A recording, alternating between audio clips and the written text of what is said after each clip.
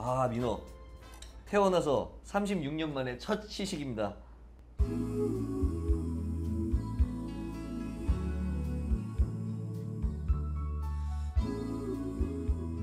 맛있어요.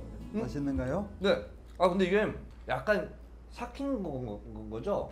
민어는 대체적으로 숙성을 시킨 선어의 맛이 났다. 아 이건 지금 선어 상태거든요. 그렇군요. 어 선생님 근데 보니까 이 소금 같은 걸 찍어주셨는데 어떻게 선생님만의 어떻게 노하우가 있어요 먹는? 저는 처음 먹으니까 지금 굉장히 맛있었거든요. 선생님께서 알려주신 대로 한번 먹어볼게요.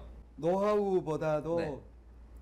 이런 이제 굉장히 네. 고추냉이라든지 네. 간장이라든지 여기 마늘, 네. 참깨, 된장, 네. 참기름 거기다가 또 생마늘, 고추 이렇게 다 맛이 강한 거거든요. 네, 그렇죠. 이 강한 걸 섞어서 지금 이 회를 먹으면 네. 이 강한 양념의 맛이 회의 맛을 가려버리죠. 아 본연의 맛을. 그렇죠. 네. 그래서 이 비싼 민어를 회로 네. 먹으려고 그러면은 네. 그냥 소금을 조금씩 아 그래서 네. 소금을 네.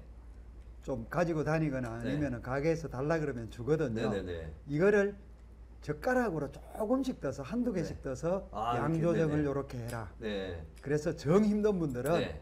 아니면은 손으로 이렇게 조금 아, 집어서 굵은 소금 한두 이렇게. 톨- 예 이렇게 아, 얹어도 되고 네네. 한번 드셔보십시오. 이렇게 먹어볼까요? 아 제가 아까 너무 그럼 센 양을 그렇죠. 양념을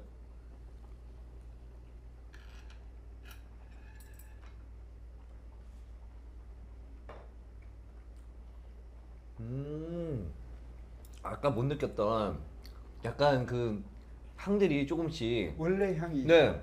우리가 흔히 이제 입으로 느끼는 맛이 있고 네 음식은 코로 느끼는 향이 있거든요. 그쵸 그쵸 그래서 향과 맛을 동시에 맛보려고 그러면은 가급적이면은 양념을 좀 더하지 말고 네. 먹어보면은 네. 그 식재료가 가지는 원래의 맛을 알 수가 있다. 네네네 그것도 아니면은 아주 그냥 깨끗한 소금을 조금 얹어가지고 네. 드시면 아. 그 맛을 정확하게 알고 네. 즐길 수가 있다. 아 그렇군요 오 굉장히 맛있고